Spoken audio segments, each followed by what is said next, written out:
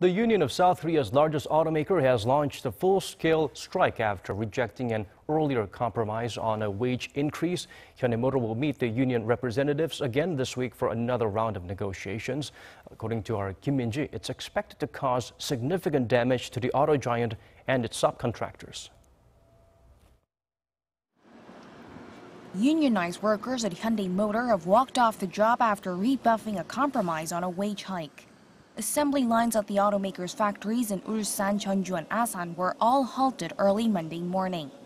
The full strike, the first of its kind in 12 years, is seen as a move to pressure the company to put forward a new wage proposal. Monday's full strike alone is expected to cost Hyundai some 145 million US dollars, or loss in production of 7,200 cars. The union has held partial strikes 19 times during the months-long negotiations, resulting in production loss of 100,000 cars or roughly $2 billion. For the rest of the week, the union plans to stage partial strikes of six hours, with the exception of days when there are negotiations, when they will walk out for four hours. The two sides reached a tentative agreement last month to raise workers' monthly wages by about $50 and give a bonus of 350% of their monthly pay and a separate cash bonus of roughly $3,000.